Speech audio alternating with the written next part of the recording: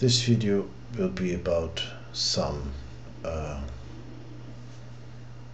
properties of homomorphisms. Um, so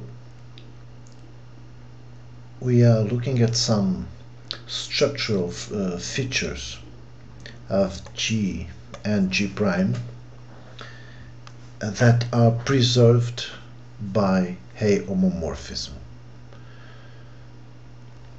Definition. Let phi be a mapping of a set x, this x should be a big X, into a set y.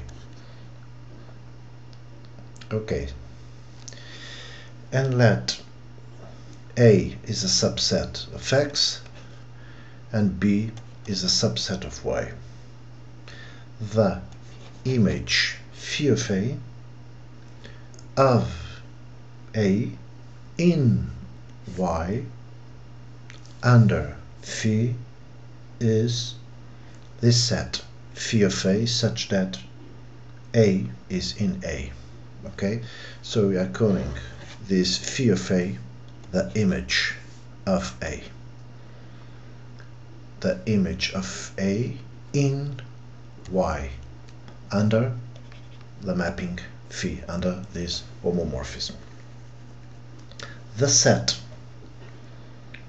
Uh, phi of x I'm using here this uh, square brackets okay?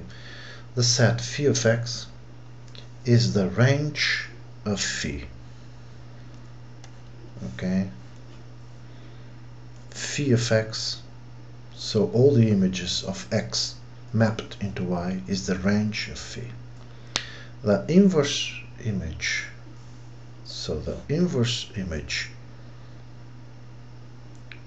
will denote it by phi inverse of b. So the inverse image of b denoted this way. In x the inverse image will go back to x is x in x such that phi of x uh, is uh, in b. Okay? So uh, we have G with an operation, G prime with an operation prime, okay, and we have phi, a mapping from a set X into set Y, okay. So, so this would be, I'm going to call G, I'm going to call X, G prime I'm going to call Y, okay? I will have a subset here A. This is this A A in X. And I will have a subset here B B in Y.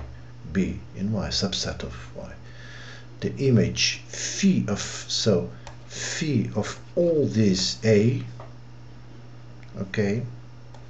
If I pick this A and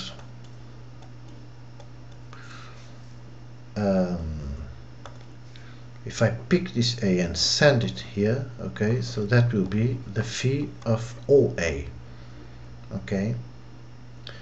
The phi of A in Y. Under phi is every single element here. This element is A. So phi of A will be here okay? Phi of A will be here. So the set phi of x, phi, not of, but all this, the, the, if, if I get all the images of this set here, x, here, that will be phi of x, and that will be the range, okay, so here I will have the range of phi, the range for this homomorphism. And the inverse image I have to start erasing things here. Um, so the inverse image of B So I pick all this B and I send it here. Um, so I pick B uh, here. I pick B and I send B back to A the, and this will be the inverse image of B. Of course the inverse image in X. That will be X in X so elements X in X such that phi of X is here in B. Okay theorem. Let phi be a homomorphism of a group G into a group G prime. Okay, so we leave some um, properties here. Okay. One, if the identity, if E is the identity element in G, then phi of the identity is the identity E prime in G prime so we have G here we have G prime here. So phi being a homomorphism maps the identity in the identity and this will be the identity of of G prime okay? F uh, identity phi of the identity equals the identity okay? The identity of G prime of G prime. The ident this will be the identity I'm sorry the identity. This will be the identity of the group G. And the homomorphism will take the identity of the group G into the identity of the group G prime. Property 2 if A is in G then the inverse image of A is the inverse of the image here. So repeating, if A is in G, then phi of the inverse equals the inverse of e, phi of A. Okay, so we have G here, right? And here we have G prime. We pick an element A here and its inverse here. So here will be phi of A. So A is taken into here. And phi of the inverse will be this one. So this one will be taken here. Okay. Phi of the inverse is this one my question is what what is the inverse of phi of a I have phi of a here right? Okay. What is the inverse of this one? Well the inverse will be the inverse of phi of a will be phi of a inverse okay? So a homomorphism takes a into phi of a and a inverse into phi of A inverse.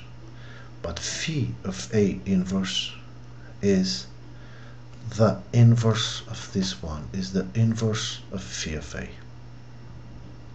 Okay, so somehow a homomorphism preserves the inverse.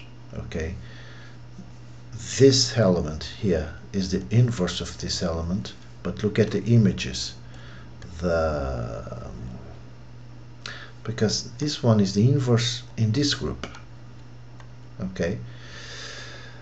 The um, that nothing says that the image had to be the inverse too yes but that's a property of homomorphisms okay? Homomorphism preserves inverses. So phi of a that's the image of a. The inverse of phi of a is phi of A inverse. So it's phi of A inverse, the inverse of phi to, of this one. 3. If H is a subgroup of, subgroup of G, then phi of H is a subgroup of G prime. So we have G here, G prime here, um,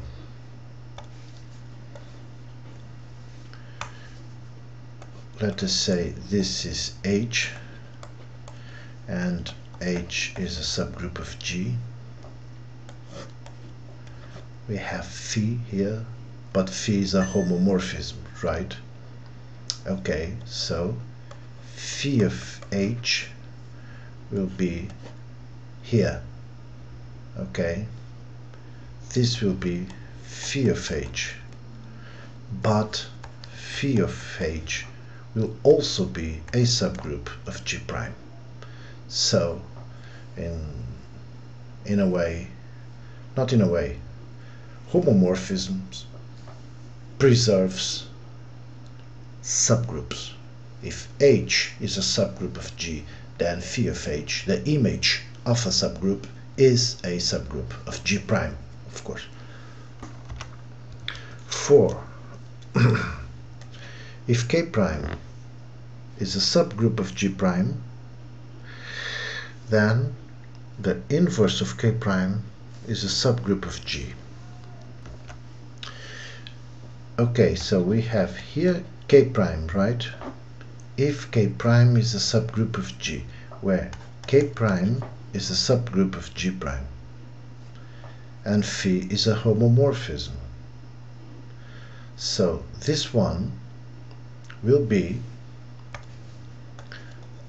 the um, this one will be the inverse image of k prime right? Because we are taking here now okay? Through the inverse image the inverse image of k prime. So the inverse image of k prime will be a subgroup of G. Okay, repeating quickly. If the identity is the element in G, then phi of the identity is the identity is the ID in G prime. If A is in G, then the inverse image of A will be the inverse of phi of A. If H is a subgroup of G, then phi of h is a subgroup of g prime and if k prime is a subgroup of g prime then the inverse image of k prime is a subgroup of g. So we say phi a homomorphism preserves the identity preserves the inverses and prefer, uh, preserves subgroups